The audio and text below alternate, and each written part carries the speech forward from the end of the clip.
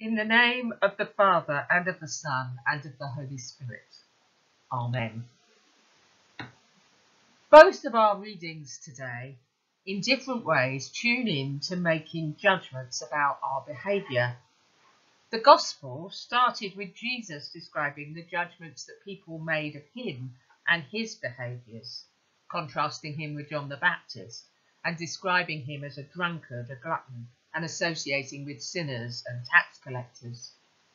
And St. Paul's letter to the Romans describes Paul's judgments of himself and his own behaviour choices.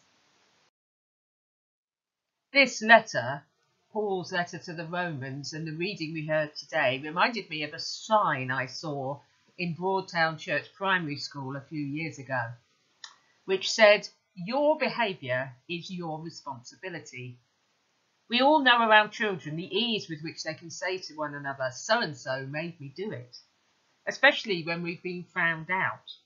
But frankly, I've also seen us adults behaving this way too. This is all about a question of self control. So, what is self control? Self control at its simplest is exercising control over your feelings or actions or restraint exercised over one's own impulses, emotions, or desires. In more spiritual language that we probably most think of, this is the active effort we put forth to resist temptations that are not God's way for us.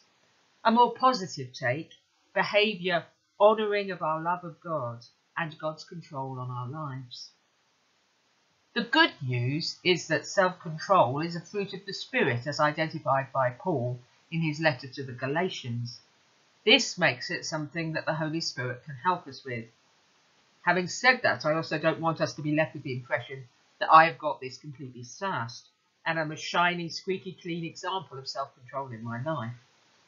Thankfully, the words of Paul today resonate in my life and our lives as much as they did in his.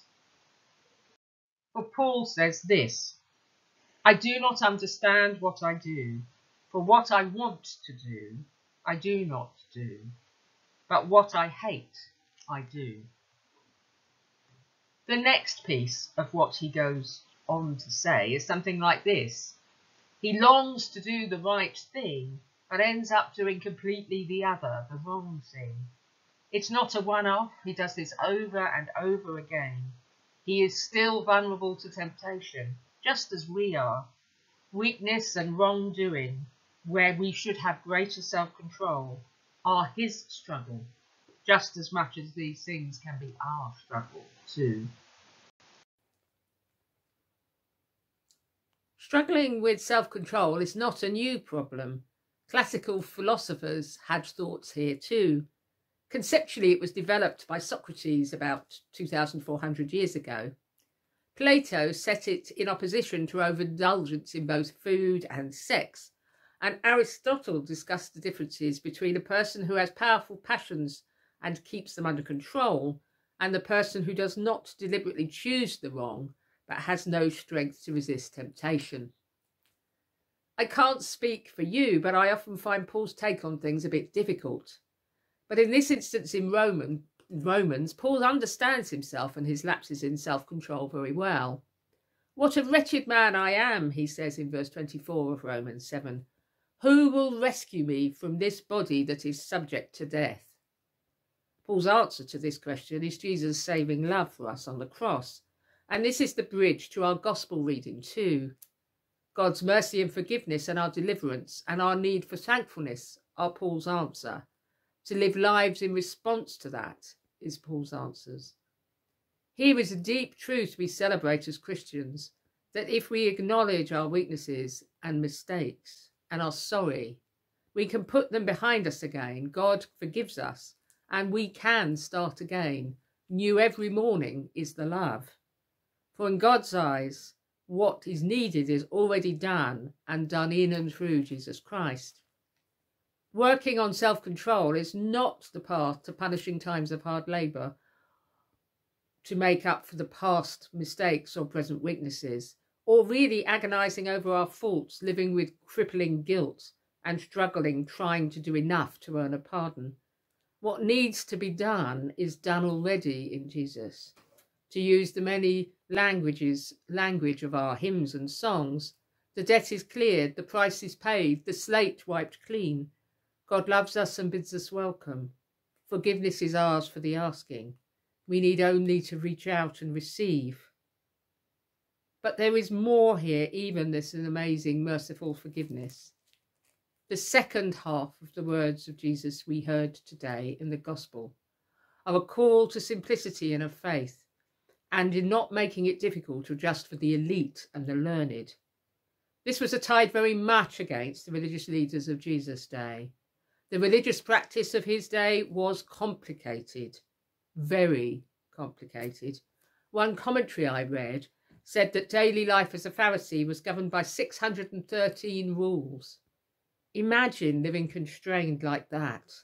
The sheer effort to remember them all would limit virtually any action. Our Bibles translated the end of verse 25 as infants, but many other translations make it like the childlike or as children. The inference here is that the wise and the intelligent do not receive the good news of Jesus Christ so readily because they can become proud and puffed up in their wisdom and can be unreceptive regarding the new and unexpected. Being childlike enables us to be unself conscious, dependent, and receptive, and to be more open to the unexpected and swings and roundabouts of life, and to help us to stay deeply rooted to God's merciful and everlasting love for us. Moving on to verse 27 and the heart of our Gospel reading. All things have been handed over to me by my Father. No one knows the Son except the Father, and no one knows the Father except the Son, and anyone to whom the Son chooses to reveal him. We're heading into much more difficult territory to understand here. Jesus is explaining his unique place in the world, fully God and fully human. In this instance, he is explaining his relationship to God the Father. He alone is the one through whom God reveals himself to us. He is the only mediator of knowledge of the Father and of God's saving purposes for us. This is important for us to really digest and take to heart. Our part in this is our ability to recognize Jesus' unique role, the significance of Jesus and his opening out of his kingdom on earth to us. Our realization of this changes our lives as we invite Jesus into our hearts, and he molds us through his Spirit's work in us and through us. Are we joining with Paul's sentiments, giving room in our heart for Jesus' love for us to be first and foremost? Are we being thankful enough for that saving, amazing, eternal love? The love that, as they say, is the ground of our beings. The final part of our Gospel reading today includes some deeply reassuring words of Jesus, so typical of his love for us. Come to me, all you that are weary and are carrying heavy burdens, and I will give you rest. Take my yoke upon you and learn from me, for I am gentle and humble in heart, and you will find rest for your souls. For my yoke is easy and my burden is light. Jesus is contrasting his way of living on earth, lightly, lovingly, with integrity and open heartedness to the guidance of God's Spirit, with the minutiae of the rules and regulations of the Pharisees, back at the 613 rules I was alluding to earlier, that governed religious observance of his day. Though it may sound like it a little, I don't think Jesus is saying, Follow me and have an easy life. He is saying, Follow me and have a fulfilled, meaningful life in Him. Being a Christian is challenging and far from an easy option. Both depending on Jesus will give us both life and the rest we need to follow His unique plan for us. The version of these words from the message kind of brings this home, I think, where it says, Are you tired, worn out, burned out by religion? Come to me, get away with me, and you'll recover your life. I think he means meaning and purpose and the hope we have in Jesus. Jesus goes on in, in that passage from the message I'll show you how to take a real rest. Walk with me, walk and work with me. Watch how I do it. Learn the unforced rhythms of grace. I won't any, lay anything heavy or ill-fitting on you. Keep company with me, and you'll learn to live freely and lightly. I particularly liked in that learn the unforced rhythms of grace. Grace is a rhythm that's governed by God and doesn't change. We can do nothing to earn it, and it's not about our worthiness of it. From Jesus' fullness of life, he's coming to earth, dying and rising again, fully God and fully human. We have received all grace upon grace. We have all received grace upon grace. And there's a constant movement of waves of this grace in our hearts and our lives. I love the analogy of the waves on the shore for grace. One wave comes in as another is going out. The ebbing and flowing of the waves of grace lead to deep transformational changes and shifts in our observations of reality. These shifts change our perceptions, our interpretations, our thoughts, feelings, judgments and actions, helping us to live and grow and depend on God's love for us more and more. I'm going to end with a prayer following a pause. Let us pray.